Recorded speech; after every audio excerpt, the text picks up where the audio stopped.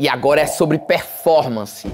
Qual é o lugar que você se torna uma pessoa de alta performance? Sei qual ambiente você consegue resultados extraordinários. Algumas pessoas trabalham melhor sozinhas, outras melhor em equipe, outras trabalham com datas fechadas, fixas.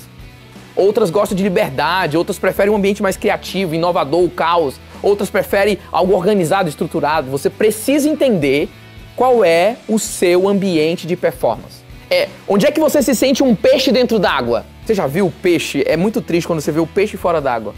O desespero que dá, a agonia que dá. Mas quando você coloca ele na água de volta, ele sai e você diz: Nossa, está no lugar certo. Qual é o seu lugar certo? Olhando naquele exercício que você fez, suas self-defined memories, olhando para seus principais, melhores momentos, suas maiores entregas, seus projetos mais incríveis que você já fez agora, onde você está. Quando você olha para isso, qual era o ambiente que melhor favoreceu isso para você? Quais eram os estímulos que isso trazia para você?